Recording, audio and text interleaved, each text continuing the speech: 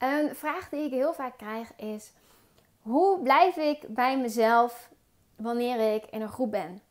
En het kan zijn dat je bewust naar een groep mensen toe gaat, bijvoorbeeld naar een verjaardag of een andere bijeenkomst, of dat je de supermarkt binnenstapt.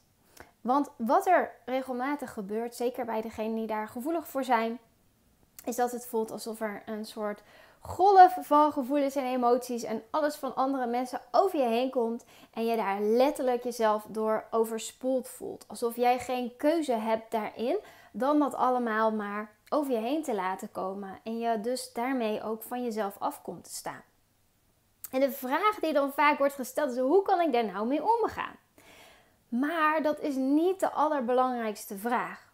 Want eigenlijk is leren hoe je daarmee omgaat. Ja, dat is belangrijk. Maar het is ook een bepaalde vorm van symptoombestrijding, als het ware. Het is alsof je gewoon een pleister erop plakt van oké, geen last meer van. Want de reden dat dat gebeurt, is niet weg te schuiven onder het feit dat je nu eenmaal gevoelig bent. Ik geloof er oprecht in dat ieder kind met een bepaalde gevoeligheid wordt geboren. Er zal misschien, en dit weet ik niet zeker, onderscheid zitten. De ene zal misschien iets gevoeliger zijn dan de andere.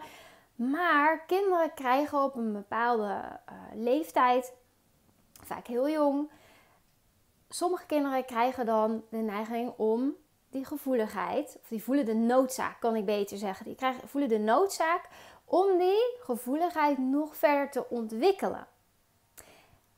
De reden dat dat gebeurt, die wil ik aan je uitleggen. Want dat is ook de reden waarom je ook nu nog steeds heel gemakkelijk dingen over je heen kan laten komen en daarbij jezelf verliest. En wat namelijk heel veel van die kinderen hebben aangeleerd, en ik zal zo ook even mijn eigen voorbeeld daarin geven, is die zijn zo gevoelig omdat ze als het ware hebben geleerd dat hun eigen behoeftes er niet zoveel toe doen.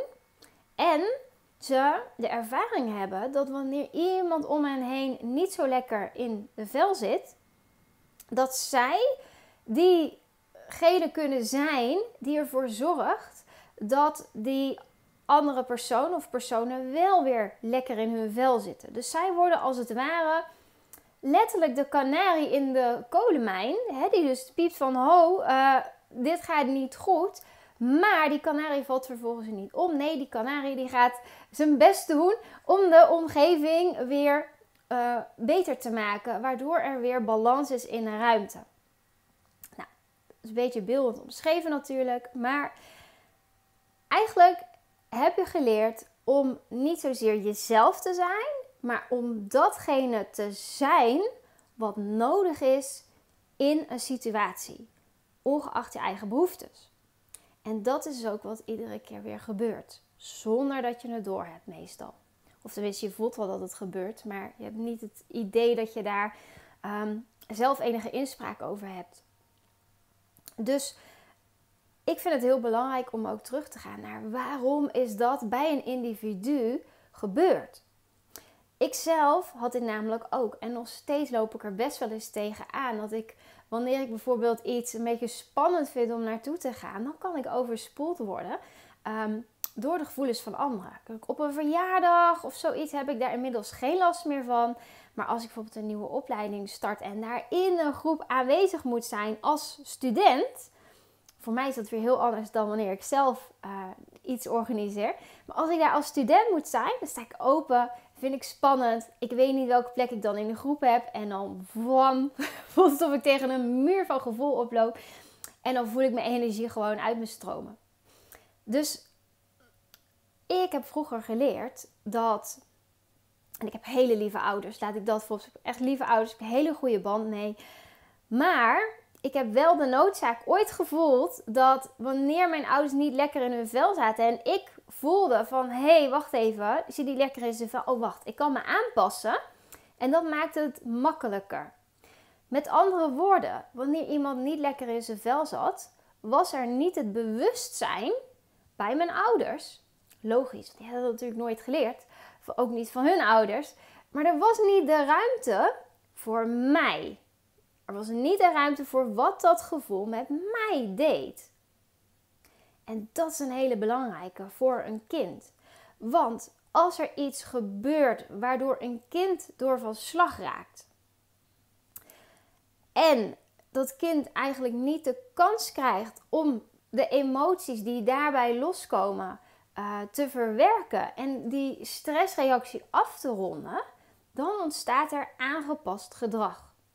Dus bijvoorbeeld, uh, stel dat een van je ouders helemaal niet lekker in zijn of haar vel zat en dat, was eigenlijk een dat waren hele grote emoties. Stel dat iemand nou echt super snel uit zijn vel kon springen. Als kind doet dat iets met je. Maar als jij daar vervolgens tegenover een ouder die heel makkelijk uit zijn vel kan springen en daar allerlei emoties over bij ervaart, wanneer jij dan bijvoorbeeld gaat huilen of om, om support vraagt voor wat die grote emoties van de ouder met jou doen, dan is de kans niet super groot dat zo'n ouder dat aan jou kan geven, want die is bezig met zijn eigen emoties. Voor een kind voelt dat niet veilig. Voor een kind voelt dat van, oh, wacht, ik mag er dus niet zijn. Dus wat doe je? Je gebruikt de gevoeligheid die je al had, door nog scherper aan te voelen hoe het met die andere persoon gaat. Hoe gaat het met die ene ouder die normaal wat makkelijk uit de wel kan springen, bijvoorbeeld? Of die misschien heel neerslachtig is, of heel verdrietig is, of niet weet wat de positie is in het leven. Ik noem maar iets. Een ouder die van slag is, dan ga jij dat aanvoelen. Dan ga jij als gevoelig kind gaat van oké, wacht. Mama of papa zit nu niet lekker in de vel. Oké, wat kan ik doen? Daar ga je eigenlijk meteen. Wacht, als ik nu de vrolijke uh, noot ben, hé, hey, dan gaat het beter. Of als ik mezelf nu afzijdig hou, dan gaat het beter. Als ik nu vraag wat uh, mijn, ouders nodig, mijn ouder nodig heeft, dan gaat het beter. Wat je daarmee eigenlijk leert als kind, is de ouder te zijn voor je ouders. Jij neemt dan de rol van de ouder in. Want jij maakt eigenlijk de emotionele behoeften van je ouders belangrijker dan je eigen emotionele behoeften. Dat is echt de omgekeerde wereld. Dit gebeurt heel vaak. Dat is niet de schuld van welke ouder dan ook. Ik denk dat ik het zelf ook best wel eens doe zonder dat ik het door heb. Maar het gaat erom dat je dat mechanisme begrijpt. Dus dat gebeurt in allerlei verschillende uh, mates bij verschillende mensen natuurlijk. Maar wat je in feite doet en wat dit met die uh, gevoeligheid te maken heeft, is die gevoeligheid ontwikkelt zich. En jij leert, als ik ben wat nodig is in een situatie, dan ben ik veilig. Dan mag ik er zijn. En daarmee ga je steeds verder afstaan van je eigen energie, van wie jij bent en jouw, wat jouw behoeftes daadwerkelijk zijn.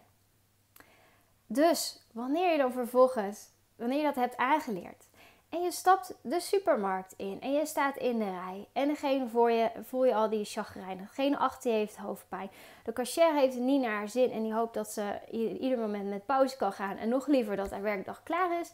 Bijvoorbeeld um, naast je staat een kind te, te jengelen van uh, een ander waarvan je, denkt dat die, waarvan je ook nog voelt dat die ouder zich eraan irriteert. Nou, voor jou is dat kortsluiting voor je hele systeem. Want je bent in een groep.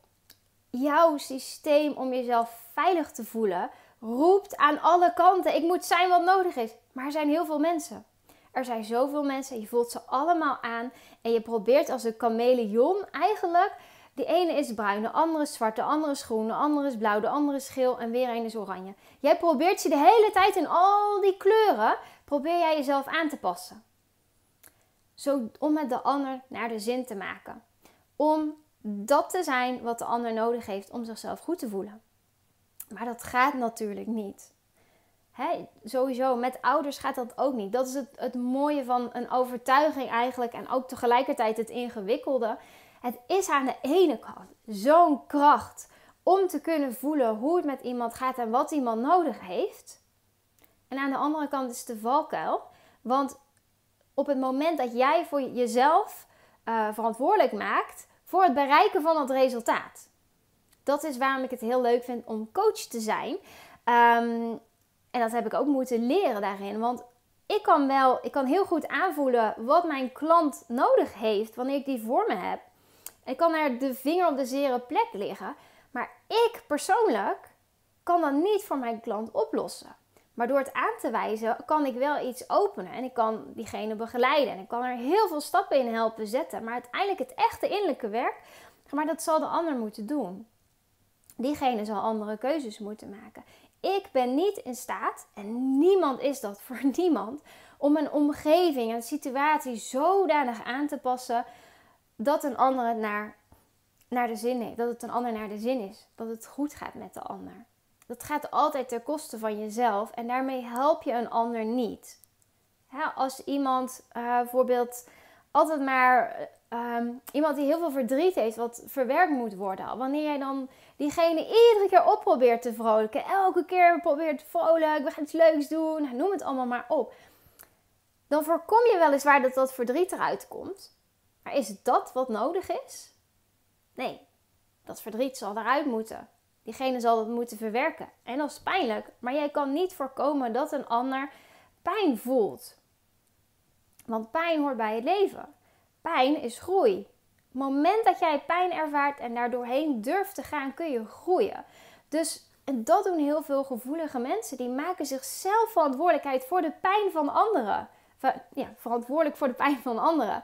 Die hebben het ergens de overtuiging als ik die pijn nou maar voel en oplos en ervoor zorg dat de ander het op zijn gemak is, dan hoeft diegene geen pijn te ervaren. Dus je maakt letterlijk de ander belangrijker dan jou.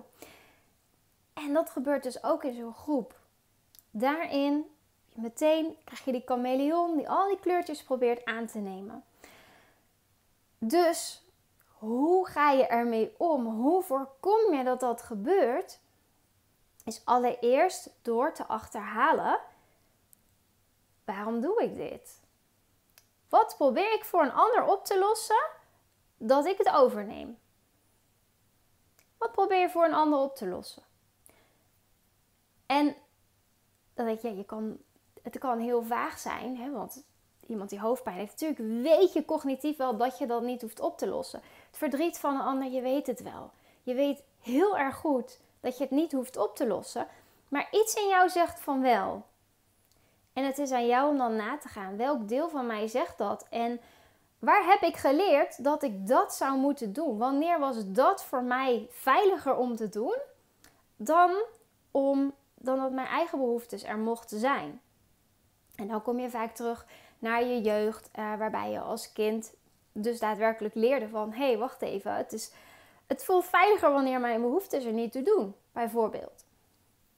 Dus dat is een hele belangrijke. Wanneer je daar naartoe gaat en wanneer je daar doorheen gaat en die reactie afrondt, dan ga je ook voelen hoe belangrijk jouw eigen behoeftes eigenlijk zijn. Dan voel je dat weer als van nature. Alsof er echt werkelijk iets geshift is, waardoor je weet: hé, hey, wacht eventjes. Hm, ik heb hier behoefte aan. Nou, weet je wat? Nou, jij voelt je niet lekker. Nou, oké, ik ga doen waar ik behoefte aan heb.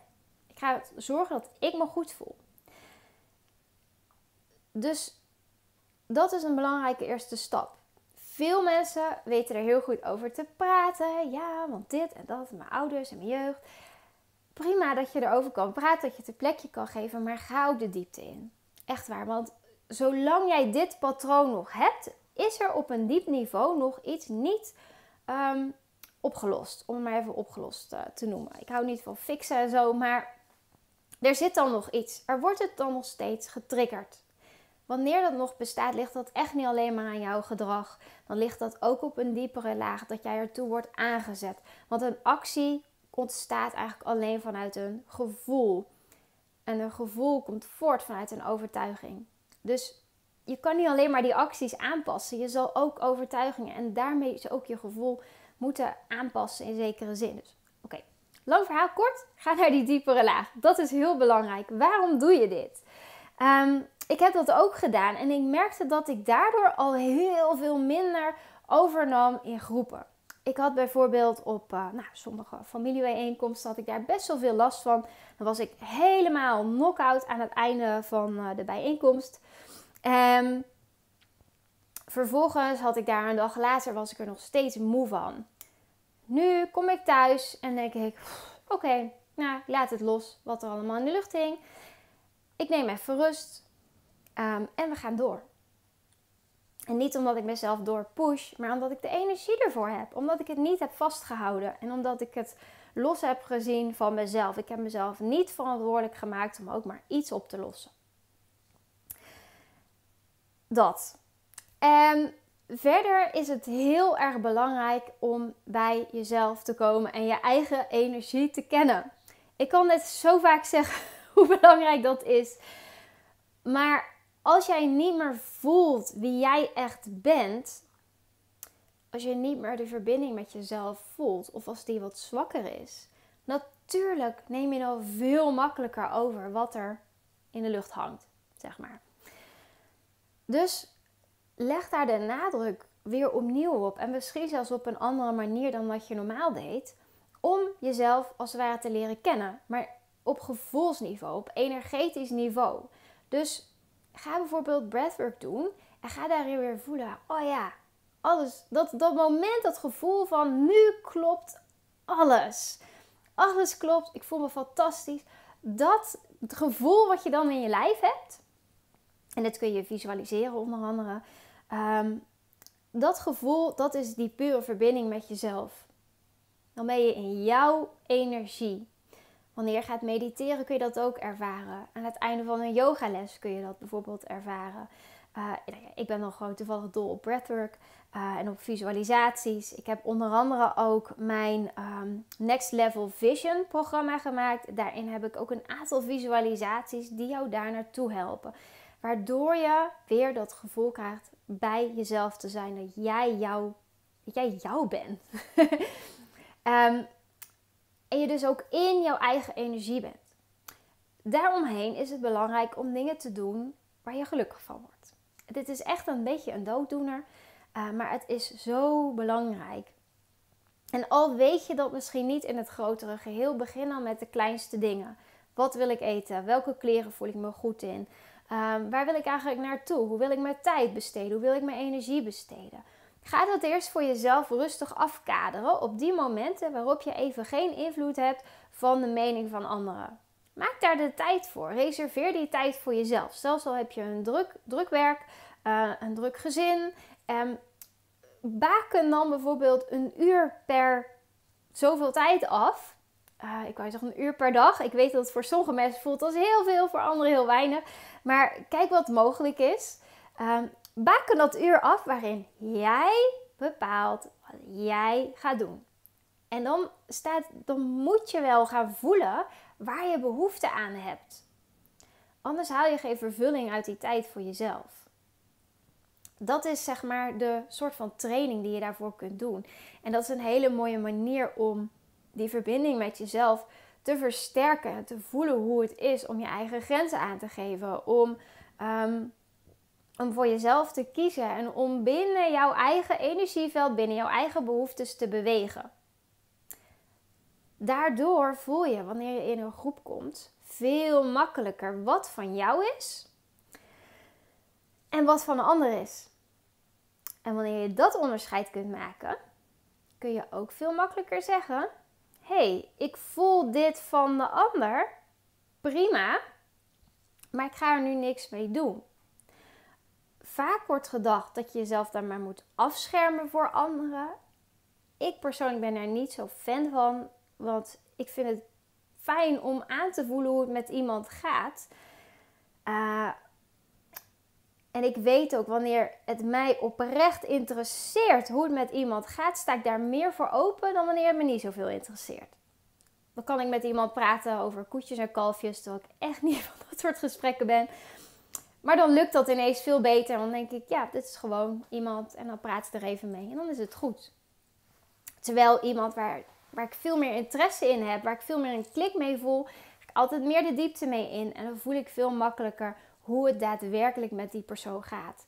En dan is het ook aan jou wanneer je bijvoorbeeld een vraag wil stellen: hoe gaat het daar nou eigenlijk mee? Om dat misschien niet te doen. Want het kan vaak zijn, zeker wanneer je de neiging hebt om dingen over te nemen, uh, om dan zo'n vraag te stellen en dan het hele verhaal te horen te krijgen terwijl je het eigenlijk niet wil. Dus wees daarin ook bewust van jezelf. Je bent niet verplicht om daarnaar te vragen. Ook al zie je een, een enorme behoefte bij iemand om het daarover te hebben. Als jij het niet wil aanhoren en jij het even niet kan misschien, geef dan die grens aan. Want dat hoeft niet ten koste te gaan van jou. Dat is weer dat patroon overtuiging wat daaronder zou zitten. Dus om hem samen te vatten, is het allereerst heel belangrijk om na te gaan waarom je Ehm, op een bepaalde manier komt opdagen in een groep. Ga de diepte in. Ontdek welke overtuiging daaronder zit. Ga daar doorheen. Ehm, dat maakt het allergrootste verschil. Dan kom je vanzelf anders opdagen. Hoef je je minder druk te maken over al die technieken om om te gaan met groepen. Dan gaat het als vanzelf veel makkelijker. Daarnaast heel belangrijk om je eigen energie te leren kennen, daarmee te leren werken, te voelen wie ben ik, hoe zit ik in mijn vel, wat is van mij, wie ben ik, hoe voel ik. Zodat je die grens kunt voelen van hé, hey, dit is van mij, maar dit is van een ander. Dan spoelt het niet zo makkelijk over je heen. Dan gaat dat niet als het ware naadloos over in jou. En dan leer je ook daarmee af te bakenen. Hier wil ik wel iets mee en hier wil ik niet iets mee. Want daardoor ga je ook, en, en dat is de tip die ik je mee wil geven, ga na of het jou echt interesseert. Interesseert het jou echt? Kun jij met je hele hart er voor die andere persoon zijn en wil je dat ook? Want dat heb jij te bepalen.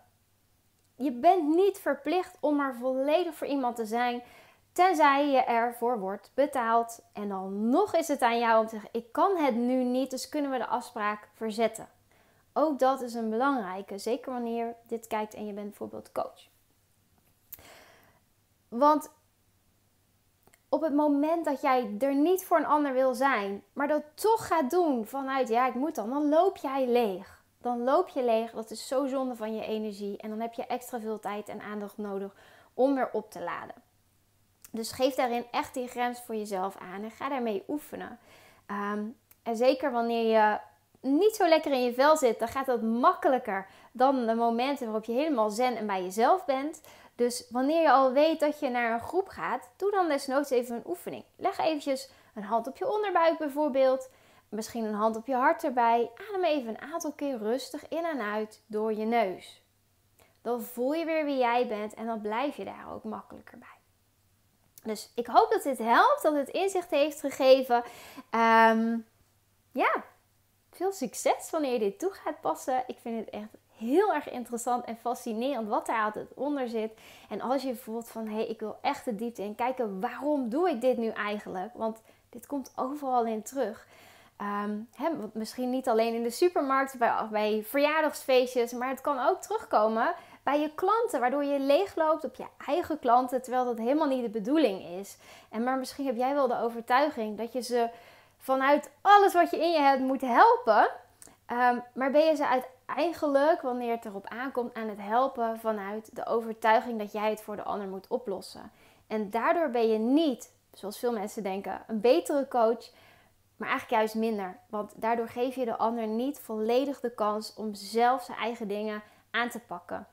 Jij mag diegene zijn die het aanwijst en helpt en invoelt met de ander wat nodig is. Maar je hoeft niet degene te zijn die het oplost. Het is zoveel krachtiger wanneer iemand dat zelf doet. Ehm, en meestal weet je dat wanneer je het op jezelf reflecteert ook. Dan weet je gewoon van hé, hey, stel je bent aan het trainen voor een wedstrijd. En iemand anders gaat al die kilometers. Nou, stel je gaat een hardloopwedstrijd doen en je laat iemand anders die kilometers rennen. Word jij dan fitter? Nee.